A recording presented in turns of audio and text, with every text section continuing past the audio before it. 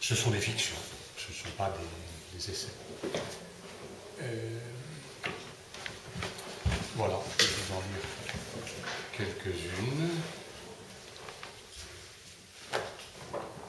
Euh, la première s'appelle Le péché de Peter Cornelis Mondrian. Le jour baisse. La lumière égale et froide de l'atelier se réchauffe d'une pointe de rouge, reflet sur la façade opposée d'un soleil couchant qui ne traverse pas la baie ouverte au nord. Un peu d'émotion en fin de journée, un cordial. La fiasque est remisée dans le placard. Un demi-verre, pas davantage. Le peintre est satisfait de sa journée. Il regarde le tableau en cours. Maintenant, il le tient. Il sait où il va. Les lignes noires dédoublées, un rectangle rouge en haut et à gauche, un autre plus petit, jaune, en bas et à droite.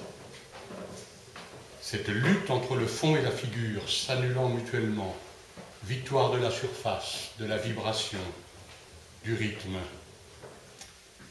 Il aligne sur sa table les pinceaux et les brosses qu'il a convenablement nettoyés, le soin hollandais. À regret, il jette dans le poêle les résidus de la taille de ses crayons. Il a toujours éprouvé une sorte de, tendresse pour ces fines corolles de bois bordées d'un liseré de graphite ou de couleur qui forment, dans la coupelle qui les reçoit, une porcelaine de Chine à bordure bleutée, de jolis petits bouquets improvisés. Ils lui font penser à ces offrandes qu'on fait à Bali avec trois fleurs de frangipanier qui flottent sur un peu d'eau. Chaque matin, avec précaution, il taille les crayons dont il s'est servi la veille et observe la formation de ces petites guirlandes dentelées. Il s'efforce de ne pas les briser prématurément. Il faut, pour cela, faire tourner le crayon avec délicatesse dans l'orifice du taille-crayon. Comme c'est pratiquement son premier geste du matin, ce petit rituel s'est peu à peu chargé de superstition. Parvenir à tailler complètement un crayon d'un seul mouvement continu afin d'obtenir une belle corolle longue de plusieurs centimètres annonce un jour faste. Le travail de la journée en sera tout éclairé. Il affectionne particulièrement la taille du crayon jaune. Elle lui rappelle les zestes de citron qui se détachent sur les plis de la nappe dans les natures mortes des maîtres hollandais qu'il aimait à visiter au musée royal quand il était adolescent. Il a, souvent songé à prendre pour sujet d'un dessin ces petites fleurs de pelure de bois qui s'ouvrent chaque matin sur sa table et chaque soir finissent dans le poêle où elles crépitent un instant avant de disparaître mais à celui qui, en lui, désirait ardemment se livrer à cette futilité, il opposait l'inébranlable veto de l'exigence qui lui servait de guide, depuis qu'à la virtuosité des peintres de nature morte, bouquets somptueux comme des pièces montées, tables chargées de lièvres, de bécasses et de chaudrons cuivrés, il avait définitivement préféré la lumière pure de Werner et les architectures austères de San Redam, relégué dans les petites salles latérales du musée. De ce jour, il a regardé différemment la nature qui l'environnait. Et comme il sortait pour peindre sur le motif, ce n'étaient plus les sempiternelles vaches au bord de l'eau qu'il choisissait, mais un arbre, une dune, un phare, des structures simples qu'il réduisait encore jusqu'à faire sourdre une lumière inconnue qui le ravissait. Sa tenue, son apparence physique elle-même avait changé. La barbe de prophète avait été rasée et les cheveux longs avaient été coupés et tirés impeccablement vers l'arrière. Le nœud de la cravate, ou parfois d'un sobre papillon, était plus sage. Le veston entièrement boutonné, des lorgnons sans monture achevaient de lui donner un air sérieux et déterminé. Peu à peu, il avait renoncé totalement aux arbres, aux dunes, aux phares, et même, avec une larme pour Saint Rédame, à la façade de l'église pour se consacrer totalement à l'angle droit, à la ligne noire, au rectangle de couleur primaire. Prestige de l'orthogonale, noblesse de la couleur pure, foin de l'ombre et de la fausse profondeur, celle qui mime le relief, Assumer la surface sans craindre la platitude, le tableau n'est pas une illusion, mais un fait. Chaque matin, il se répétait comme pour définitivement s'en convaincre ces articles de la profession de foi qu'il avait élaborés à son usage propre et dont il veillait à ne pas s'écarter. Il s'autorisait cependant à se délasser de temps en temps en peignant, le plus souvent à l'aquarelle, un ou deux arômes au bout de leurs longues tiges, ou bien la grosse tête frisée d'un chrysanthème. Il n'avait jamais eu la moindre velléité de peindre un bouquet de fleurs, stupide, vulgaire un bouquet, tandis qu'une fleur, une seule, comme une figure, un être qui s'élève sur un fond, deux fleurs parfois, comme un dialogue, une union, pas plus. Il glissait la tige dans le col d'une bouteille, afin qu'elle se tienne bien droite. Il ne peignait pas la bouteille, la fleur seule, avec un peu de sa tige, comme un portrait en buste. Une seule fleur, choisie pour sa beauté, dans un vase à long col étroit qu'ils appelaient l'Aledan. C'est ainsi que les Turcs présentaient les tulipes, tout un art. La tulipe, importée par un flamand qui était ambassadeur des Habsbourg à la cour de Soliman, était devenue la fleur huguenote. À partir du XVIe siècle, la carte de sa culture suit l'implantation des émigrés que la révocation de l'édit de Nantes chasse de France. Portrait de fleurs. C'est ainsi qu'il se plaisait à nommer ses petits délassements. C'était une tradition ancienne dans ce pays de marchands qui, après avoir renoncé à adorer Marie et les saints, après avoir recouvert de chaux les fresques des églises, brisé les statues et brûlé les tableaux, avait reporté inconsciemment leur élan mystique sur l'innocente tulipe parée de tous les charmes de l'Orient.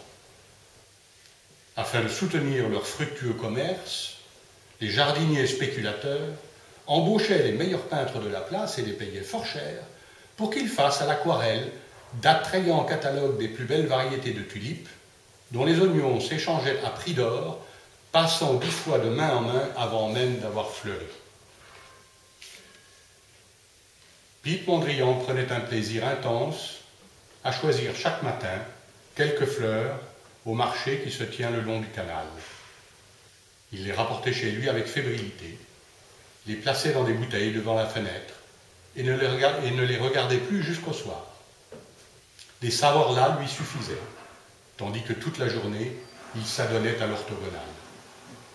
Le soir venu, il se tournait parfois vers ces fleurs qui semblaient l'attendre muettement, et, de la pointe ou du plat d'un fusain, il tentait la gageure de rendre le blanc crémeux de la, de la corolle de la reine. Ce plaisir n'allait pas sans un vague remords. La contrition était dans sa nature. Mais surtout, ces fleurs, ces portraits de fleurs, se vendaient bien, beaucoup mieux assurément que les tableaux austères et ambitieux auxquels il avait assigné la mission de défendre son nom pour l'éternité. Un peu d'argent pour mettre du bois dans le poêle, cela ne se refuse pas, se disait-il. Le plaisir coupable des courbes et des rotondités, la fascination de l'illusion, l'attirance d'un gain modique et d'une reconnaissance publique limitée à son quartier, le peintre ne se les accordait qu'avec parcimonie. Pas de tulipes avec regret pour leur forme pure et la sensualité avec laquelle elles s'affaissaient en fin de journée. La tulipe évoquait trop cette folie spéculative, certainement inspirée par le diable, qui avait un jour saisi son pays. Pas de tulipe, mais une rose, un chrysanthème, un arôme. Jamais cependant il ne se résolut à dessiner les tailles de ses crayons dans leur coupelle de Chine. Il se borna toute sa vie à les contempler avec affection avant de les livrer contrit au feu purificateur de son poil.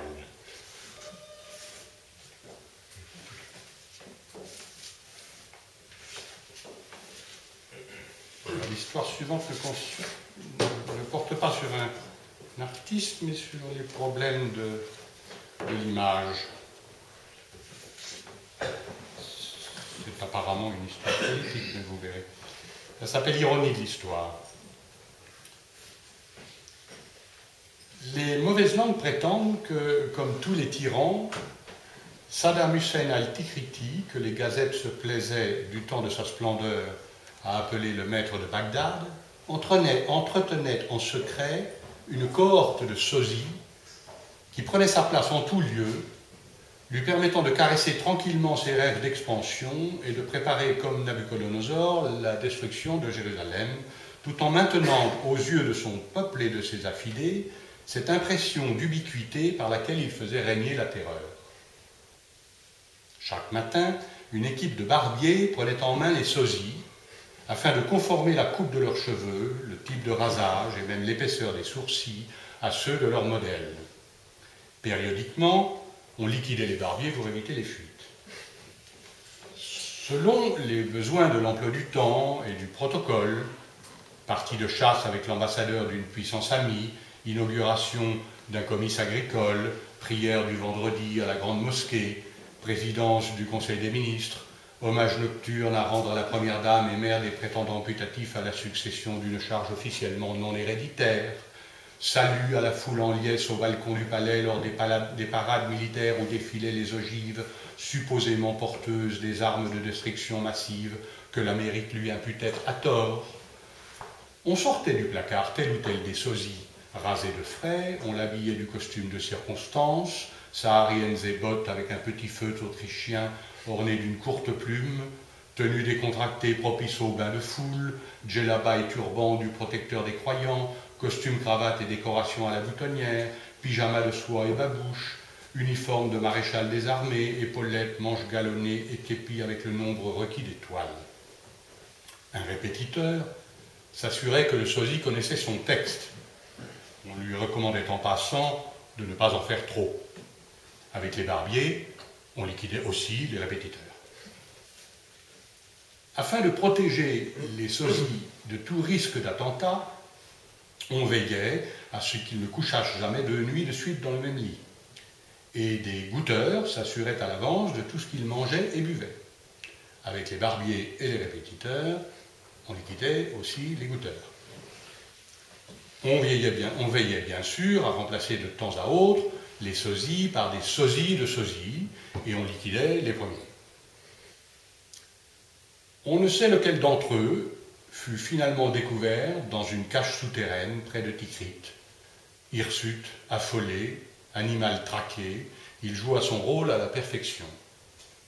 Est-ce le même ou un autre qui fut pendu sous les injures après un jugement sommaire? On ne le sait pas non plus. Celui qui était dans le box des accusés, chemise blanche et costume sombre, barbe courte et bien taillée, cheveux, coupe de cheveux impeccable, air reposé et déterminé, avait sur le visage une sorte de noblesse, à tout le moins une allure altière, qui laisse à penser qu'il n'était pas le premier sosie venu.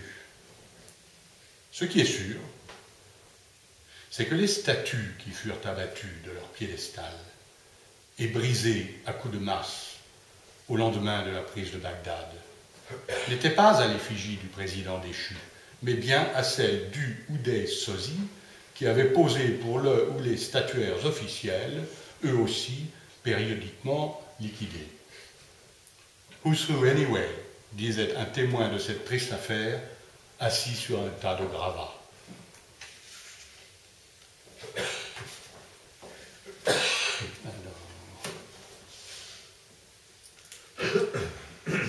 Celle-ci s'appelle Honoré Daumier et le canard. Honoré Daumier vint un jour trouver un voisin à la campagne. J'ai besoin de dessiner un canard, lui dit-il, mais j'ai oublié comment c'est fait. Peux-tu m'en montrer un? Bien sûr, dit le voisin, viens avec moi à la mare, il y en a de toutes espèces. Veux-tu un carnet et des crayons? Inutile, dit Daumier, je suis incapable de dessiner d'après nature.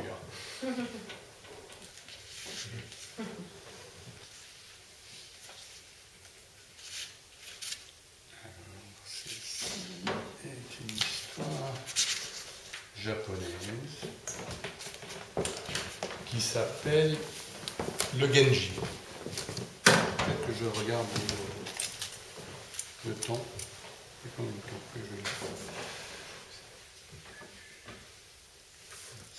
Encore 5 minutes, 5 minutes. Le Genji était un beau jeune homme, Habile danseur, poète sensible, peintre talentueux, joueur de sitar incomparable, il séduisait sans effort hommes et femmes. On ne s'étonnera pas qu'il ait suscité les jalousies. Fils de l'empereur régnant avec une concubine décédée précocement, son père souhaitait lui donner la préférence, mais une prédiction vint changer ses plans. Elle assurait que si l'enfant devenait empereur, il conduirait le pays au chaos, alors que s'il n'était que ministre, il assurerait sa prospérité. Soucieux de l'intérêt général, l'empereur attendit que l'adolescent fût en âge de revêtir les habits virils.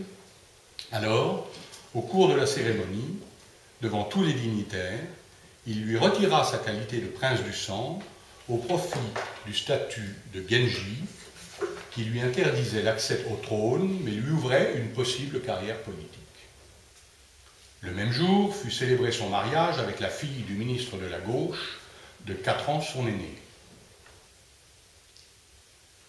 À quelque temps de là, le demi-frère du Genji succéda à l'empereur qui avait souhaité se retirer, usage alors courant. Le Genji négligeait son épouse, mais multipliait les conquêtes au palais et hors du palais, jusqu'à la favorite de son père, dont la beauté lui rappelait celle de sa défunte mère, avec laquelle il entretint une longue liaison secrète. S'étant introduit nuitamment dans la chambre de la fille du ministre de la droite, alors favorite de l'empereur son frère, et empêché de regagner ses appartements par un violent orage, il y fut surpris au matin par le ministre et père de la dame, qui s'empressa d'exploiter l'affaire à son avantage. La douairière, veuve de l'empereur retiré, souhaitant évincer le Genji pour protéger son fils, saisit ce prétexte pour le contraindre à l'exil. La condamnation tomba. Suivi d'un piètre équipage, portant sa cithare et son nécessaire à peinture, le Genji gagna Souma, une triste bourgade côtière, au-delà de la rivière Yodo.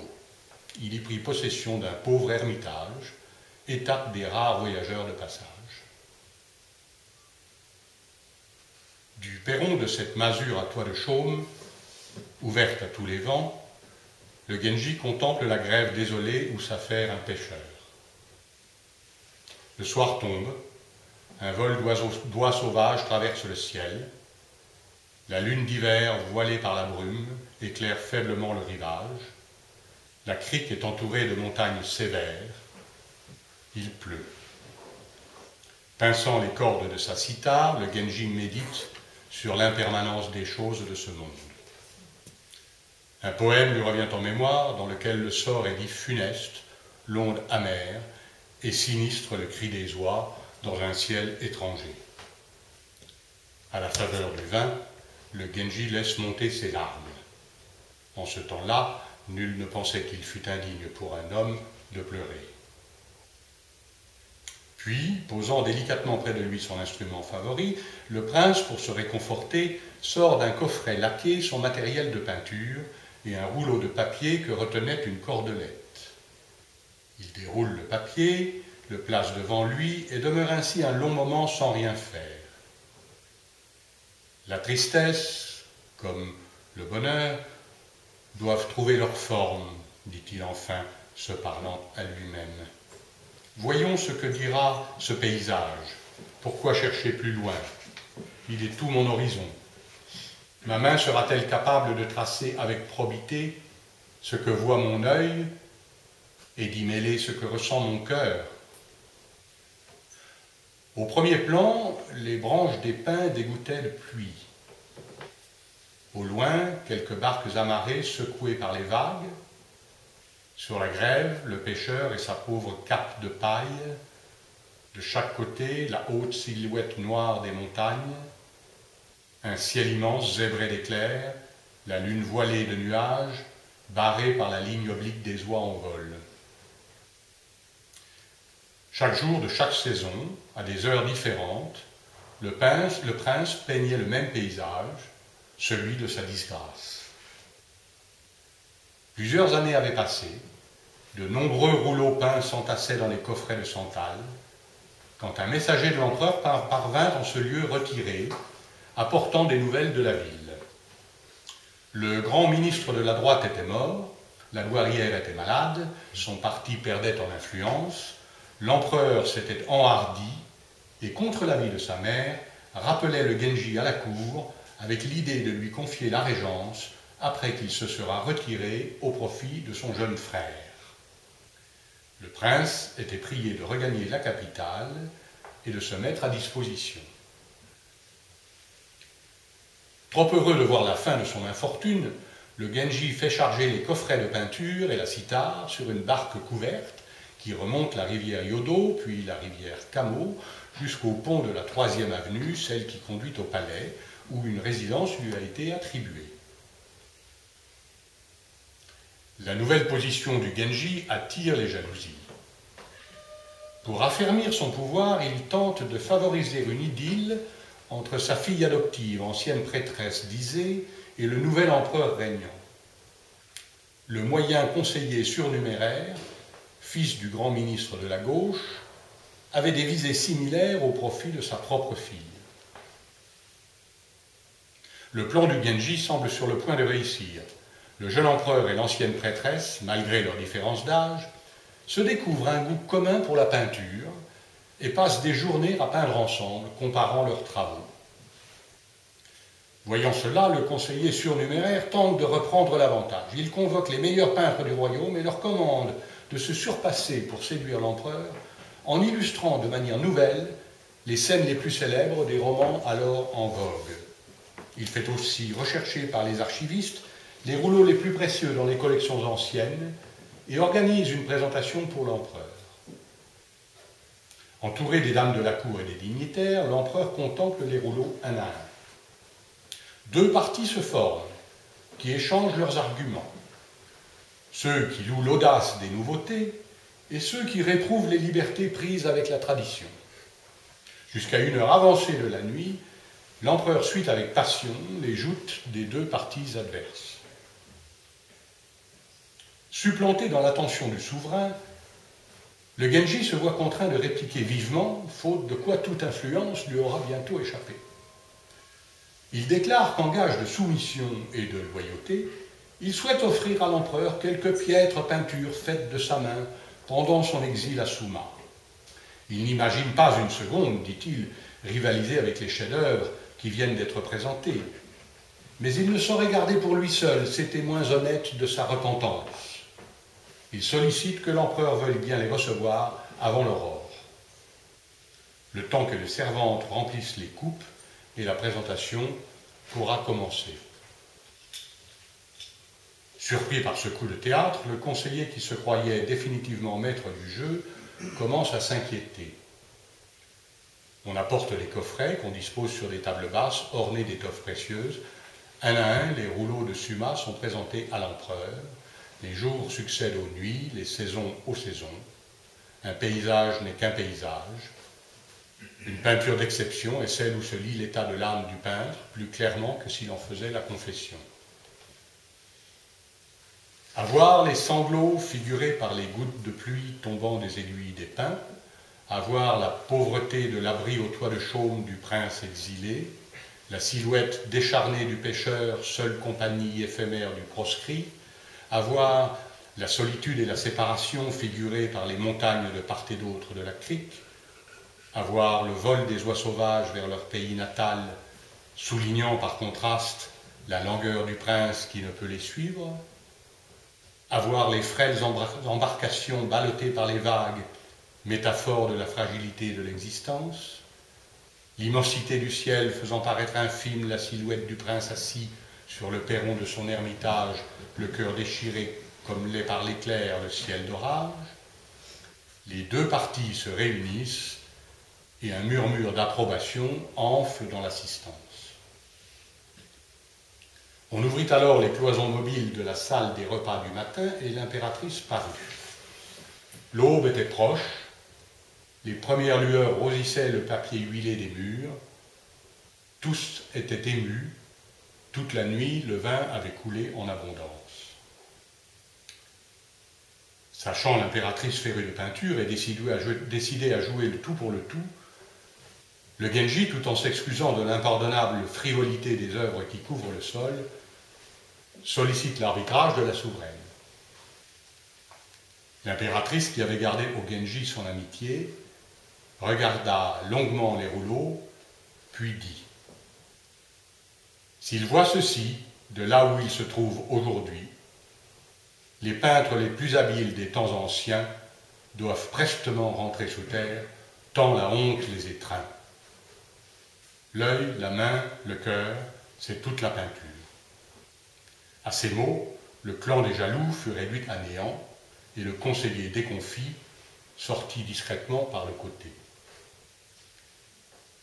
Il y a mille ans, à Kyoto, alors Heian, c'est par une image, née de l'alliance de l'œil, de la main et du cœur, si du moins les romans disent vrai, que le pouvoir politique se prenait. Voilà.